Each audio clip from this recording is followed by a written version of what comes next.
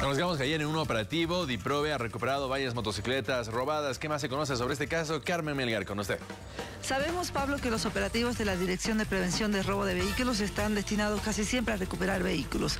En esta ocasión y después de un seguimiento riguroso, se ha procedido a la recuperación de cuatro motocicletas en un taller en Alto Brajes. Se ha encontrado ya sin placas las motocicletas, lo que hace presumir a los investigadores de Diprove que estaban ya listas para su repintado y para poder así comercializarlas. Vamos a intentar eh, conversar con el personal de Diprove que ha realizado este operativo para que nos des un poco el modus operandi que tenían en este taller y si hay detenido. Buenos días, sargento. ¿Cómo están? Buenos días.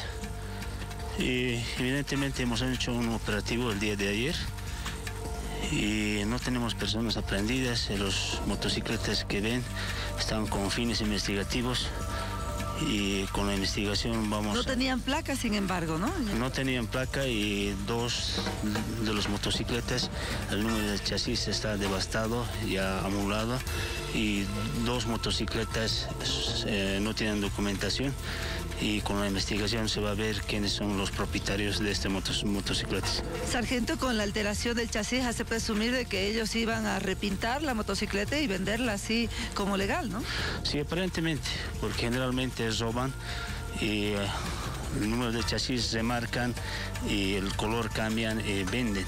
Entonces, eh, vamos a pasar a la fiscalía y posterior vamos a dar con los propietarios de estas motocicletas. Varios talleres estarían además operando. Ustedes van a continuar las investigaciones para poder encontrar más motocicletas eh, que han sido robadas y que intentan ser transformadas para su venta. Sí, evidentemente, porque estos últimos meses han sido robadas varias motocicletas y vamos a continuar con el operativo verificando diferentes talleres que funcionan en esta ciudad. ¿Qué señalan los encargados del taller? ¿Ellos conocían quiénes le llevaron las motocicletas? ¿Se va a investigar también esto? Sí, los propietarios de los talleres desconocen. Evidentemente no piden la documentación al momento que dejan, pero ellos desconocen.